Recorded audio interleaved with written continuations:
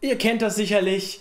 Ihr sitzt gemütlich im Wohnzimmer auf der Couch und wollt noch ein bisschen auf eurer PS4 oder PS5 zocken, aber der Fernseher, der ist natürlich mal wieder besetzt. Aber es gibt eine Lösung für dieses Problem und die nennt sich PS Remote Play. Wie genau PS Remote Play funktioniert und wie ihr es installiert, das zeige ich euch in diesem Video. Aber jetzt nochmal ganz genau die Frage, was ist denn jetzt Remote Play?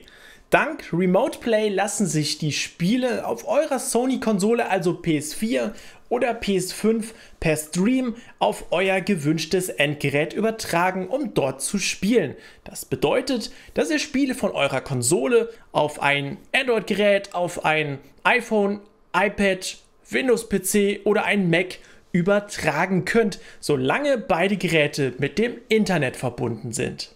Das ermöglicht euch zum Beispiel PlayStation-Spiele auf eurem Computer oder Smartphone zu zocken, auch wenn ihr euch nicht in unmittelbarer Nähe eurer Konsole befindet. Aber für wen ist denn jetzt Remote Play wirklich nützlich und ein gutes Feature?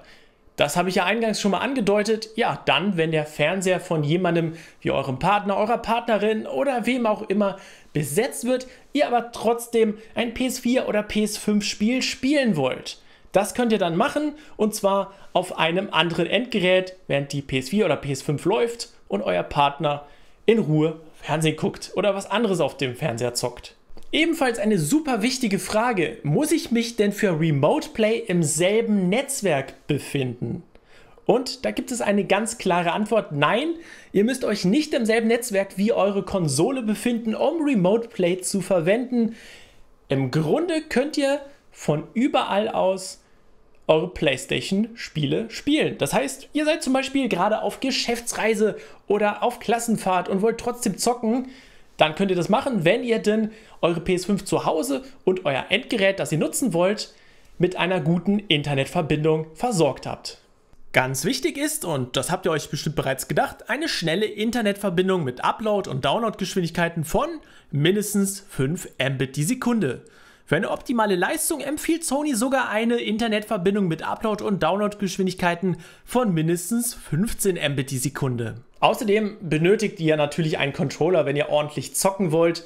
Ihr könnt zwar auch zum Beispiel am Smartphone direkt über den Bildschirm mit der entsprechenden Steuerung, die da angezeigt wird, steuern, aber das funktioniert eher so semi. Ich empfehle euch den normalen DualSense Controller von Sony zu verwenden, der ja auch bei der PS5 dabei ist.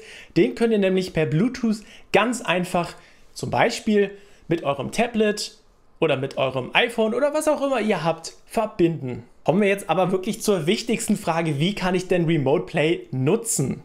Möchtet ihr Remote Play nutzen, müsst ihr auf den entsprechenden Endgeräten zunächst die benötigte Anwendung installieren. Außerdem muss sowohl die Konsole als auch das Gerät mit dem Internet verbunden sein. Ganz wichtig, ihr müsst übrigens auf eurer PS4, aber auch PS5 Remote Play erst einmal in den Einstellungen aktivieren. Ansonsten funktioniert überhaupt nichts.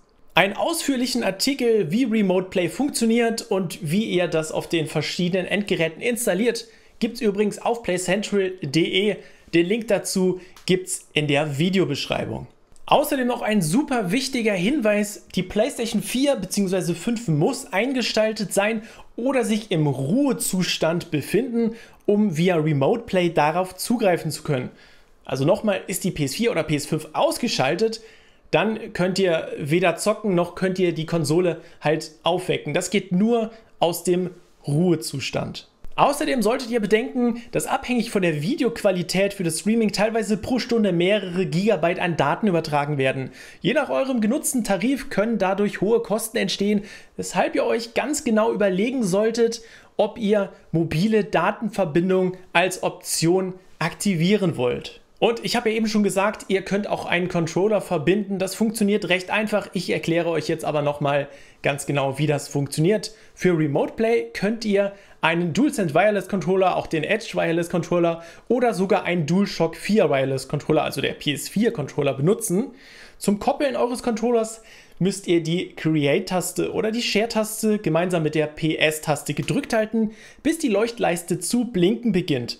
Wenn die Leuchtleiste dann blinkt, dann geht ihr in die Bluetooth-Einstellungen eures Endgeräts und wählt hier euren Controller aus. Wenn die Leuchtleiste dann leuchtet, dann leuchtet sie und euer Controller ist natürlich verbunden. An dieser Stelle würde mich jetzt mal sehr interessieren, habt ihr PS Remote schon mal selbst ausprobiert? Vielleicht auf dem iPhone oder auf einem anderen Endgerät? Dann schreibt mir eure Meinung sehr gerne mal in die Kommentare. Das würde mich echt interessieren. Ansonsten, wenn euch das Video gefallen hat, dann lasst sehr gerne einen Daumen nach oben da. Und wenn ich euch gefallen habe, dann lasst dem Kanal sehr gerne ein Abo da. Und dann sehen wir uns im nächsten Video wieder.